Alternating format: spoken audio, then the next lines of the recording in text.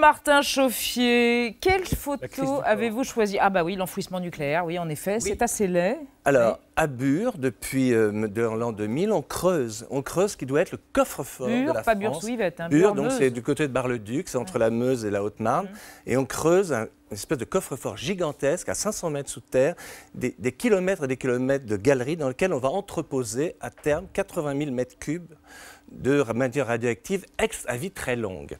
Et naturellement, les- le lobby nucléaire nous a expliqué depuis toujours que c'était les conditions de sécurité étaient absolues, que c'était des normes au-delà de tout ce qu'on peut imaginer. Résultat des courses, on s'aperçoit aujourd'hui, ce qui n'avait jamais été prévu, qu'il y aurait des glissements de terrain. Et donc, il va y avoir des glissements de terrain. C'est possible à Bure.